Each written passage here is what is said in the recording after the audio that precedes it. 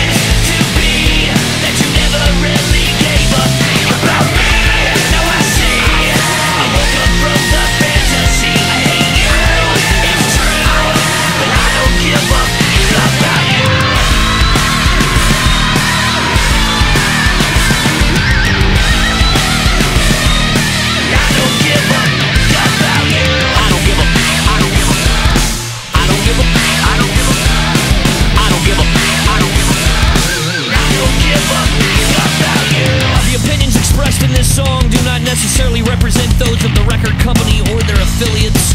Anyone wishing to voice a complaint or opinion can visit www.idon'tgiveaf about you and your point of view.